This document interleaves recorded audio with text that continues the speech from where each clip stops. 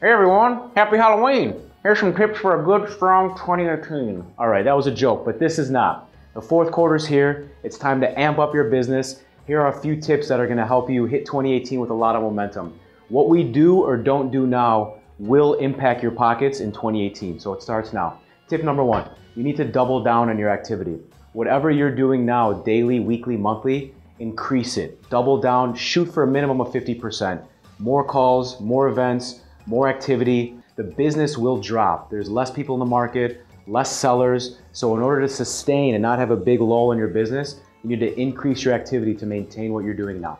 Number two, you need to hit the phones. One to two hours of phone time every day because it starts with the phone. The more calls you make, the more meetings you'll get, the more appointments you'll have, the more opportunity you will create. Phone time is critical. Do not have phone phobia, as we say, and be scared of the phone. Number three, more activity in face-to-face contact. Meetings, lunches, breakfasts, power dinners, grab an attorney, a CPA, a financial planner. Leverage your time so you can accomplish more in less time.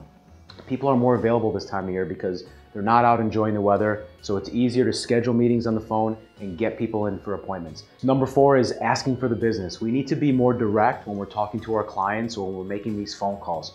For example, if you just sat down and had a great listing appointment, ask your client, is there any reason why you don't see me earning your business? Or do you happen to know anyone else at work that could use my services? Be more specific, don't be vague. If you know anyone, I'd like to meet someone, more direct, more confident. The more you ask for the business, the more you shall receive. I hope this helps. Cheers to the last 90 days. Talk to you soon.